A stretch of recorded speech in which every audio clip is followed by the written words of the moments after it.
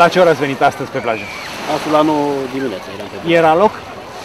Da, da. Niște locuri erau și aici la zona cerșeafului de noi.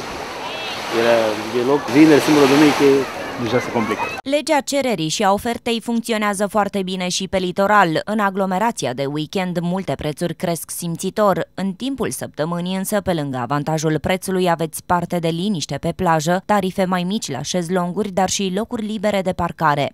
Este, cum să vă spun eu, e mai scump, aglomerație mai mult. Am venit Decât la lunea, parcare marțea. cu plată Noi am și venit nu am găsit marțea, loc. E mai ușor, da. E mai greu de, în weekend de găsit. Da, vinerea, sâmbătă, duminica, cum este. E mai greu de găsit un loc de parcare în weekend?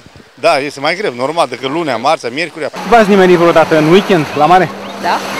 Și cum e comparativ cu timpul săptămânii? Foarte aglomerat. Cumva în timpul săptămânii mai lejer? Da, este foarte lejer mai e liber și în apă și pe plajă și... Și un șezlong îl găsești mai ușor? Uh, da.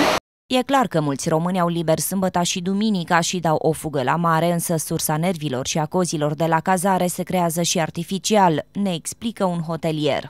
vineri după amiază, practic nu găsești nici locuri de cazare, deci cei care au uh, fost cazați înainte vor să mai rămână câteva ore până seara, iar ceilalți vor să vină cu o oră, două mai devreme, dar în timpul săptămânii, luni, marți, miercuri și joi, găsești și locuri de parcare, găsești liber la recepție și găsești chiar și camere libere.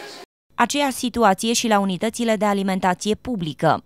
Eu sunt administrator, dar dacă aș fi turist, aș veni în timpul săptămânii. E mult mai, mult mai frumos, mult liniște.